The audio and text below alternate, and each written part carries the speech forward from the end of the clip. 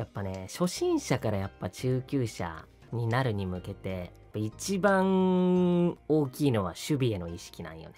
なんかリーチに対して降りるを覚えたぐらいだと、それでもまだね、宝珠率って13%、